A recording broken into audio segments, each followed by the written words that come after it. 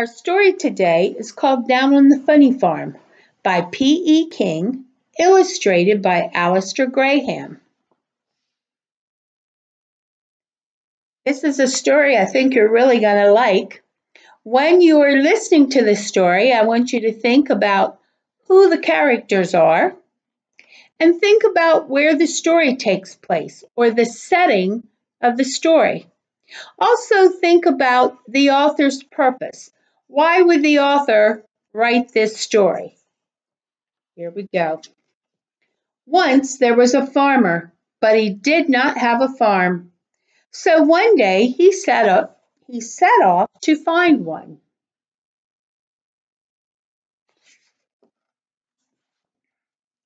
Soon the farmer met an old man. The old man was hard at work. Hello, said the farmer. What are you doing this fine day? I am pitching hay, said the old man. But where's your pitchfork? asked the farmer. The old man held up a table fork. A pitchfork is a, a giant sized fork. It looks like the fork we eat with, only it's not silver. It usually has a wooden handle, but it has a big um, end on it so that you can scoop up a lot of hay. Isn't it hard to pitch hay with that little fork? asked the farmer. Yes, said the old man, it is very hard. I am old and tired. I do not want to work on my farm anymore. Do you know anyone who wants to buy a farm? asked the old man. I sure do, cried the farmer. A farm is just what I am looking for. How much does your farm cost?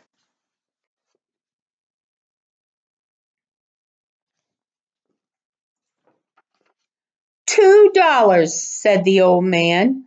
Two dollars? Are you crazy? said the farmer. Well, if two dollars is too much, then how about one dollar? asked the old man. After all, my farm has a horse, a rooster, a dog, a chicken, a pig, and a cat. Most people don't sell their home or their farm or a piece of property for just one dollar. Sold, cried the farmer. He gave the old man one dollar. The farmer was so happy. What good luck that I met you, he said. The old man was happy too. He threw his fork away and danced down the road. Then the farmer went to see his new farm.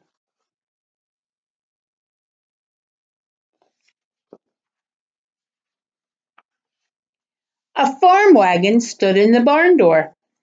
That is just what I need to carry the hay, said the farmer. Just then he heard a soft noise. Whinny, whinny.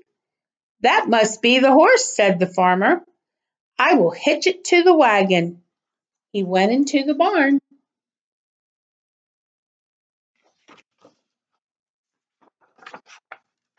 He did not see a horse, but he did see a cat. It was hitched to the wagon. The cat pulled and pulled, but the wagon did not move. Whinny, whinny, whinny, said the cat. The farmer laughed. You are not a horse. You are a cat. What are you doing hitched to a wagon? Whinny, whinny, answered the cat.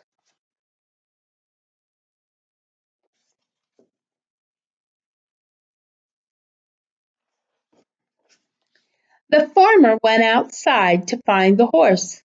Then he heard another noise. Cock-a-doodle-doo! The farmer looked up, and what did he see? A horse. The horse was on the barn roof. Cock-a-doodle-doo! crowed the horse. What in the world are you doing up there? cried the farmer. What does that horse think he is?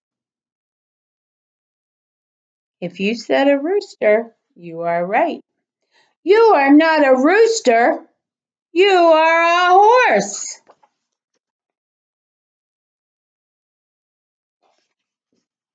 He thinks he's a rooster. There is something funny about this farm, said the farmer. He set off to find the rooster. Behind the barn was a garden. There was the rooster. The rooster was busy burying a bone. What does the rooster think he is? A dog. Woof, woof, barked the rooster. No, no, no, said the farmer. You are not a dog. You are a rooster.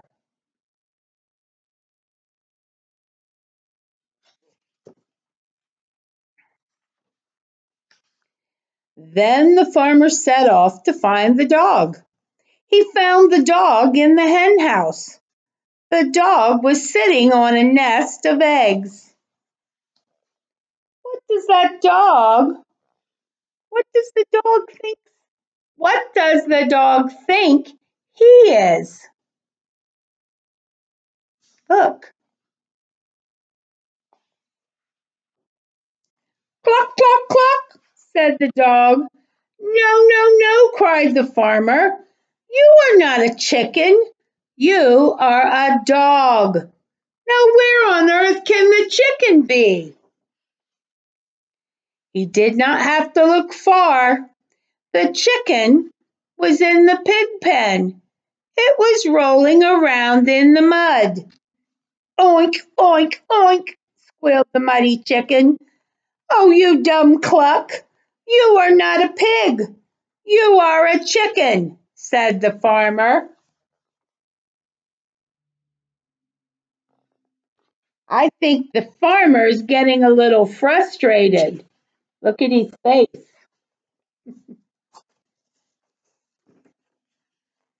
The farmer looked and looked for the pig.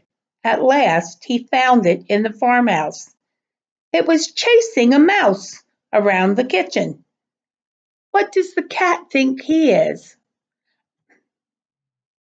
Sorry, I gave that one away. Meow, meow, said the pig. This is all wrong, cried the farmer. Pigs do not chase mice, cats do. You are not a cat. You are a pig. What a funny farm. And what funny animals. I can see I have a lot of work to do.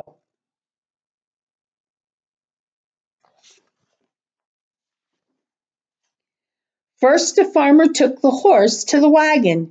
He showed the horse how to be a horse. Whinny, whinny, whinny, said the farmer. Whinny, whinny, whinny, said the horse.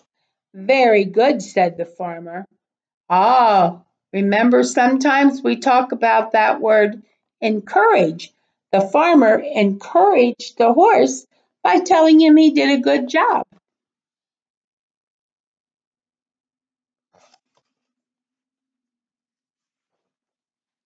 Next, the farmer took the rooster to the barn roof.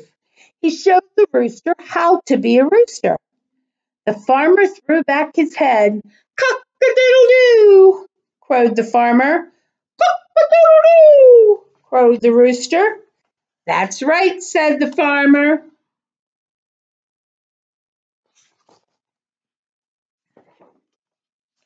Then the farmer took the dog to the garden.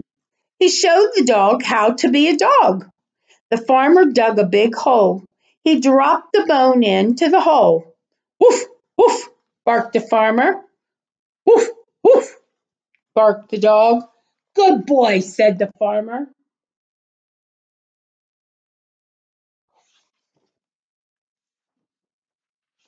Then the farmer showed the chicken how to be a chicken, and the pig how to be a pig, and the cat how to be a cat.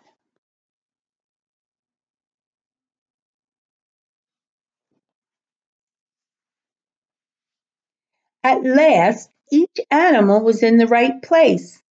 Each animal was doing the right thing, and the farmer was happy. I think that farmer was a good teacher. The next day, the farmer went to work in his fields. I am lucky, he said, because I have a farm, but I am lonely because I do not have a wife. At that very moment, a lady came riding by. Did I hear you say that you want a wife? asked the lady.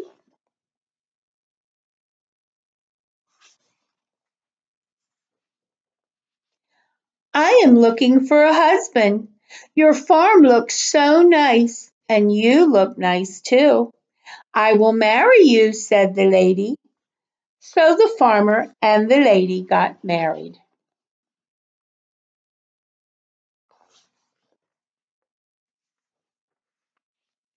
The next day the lady said to the farmer, I have a father. He has no place to live. Can he stay with us in our farm? The farmer answered, Why, yes, of course. As soon as the farmer said this, the old man jumped out. When the lady saw the old man, she said, Dad! Who is this old man? When the cat saw the old man, it went to the wagon and said, Whinny, whinny, whinny. When the horse saw the old man, it climbed onto the barn roof and cried, crowed, cock-a-doodle-doo.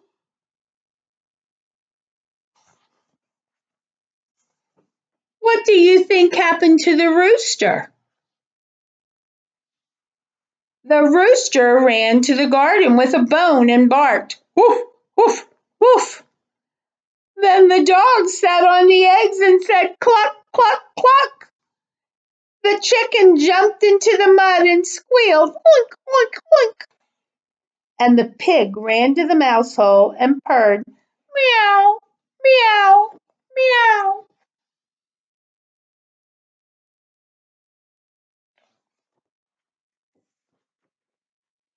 The old man put his arms around his daughter and his new son. We are going to be so happy together, he said. Do you think they lived happily ever after?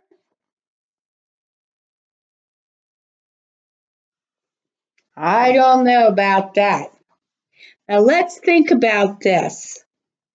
Where did this story take place? Where was the setting of this story? Where did it happen? If you said a farm, you were right. Think about the characters. Who, who would we say would be the main character in this story? Well, I think it would be the farmer because he was on every page. He was looking for a farm he bought it, he helped the animals learn what to do, and he was still there at the end. But there was also the father in law or the, the old man, the wife, and the animals could be characters in the story. All right, so what about the author's purpose? Why do you think the author would write this story? I think he wrote it to make us smile, to make us laugh.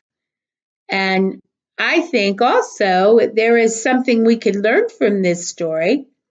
Do you remember when the farmer was trying to teach the animals? What did he do with each one? He showed them what to do, right? And then they did it too. He was a good teacher. So sometimes you guys, we can all be good teachers if somebody needs to know something, how to do something, and we can help them. If we show them, we can be a good teacher too. Have a good day, guys.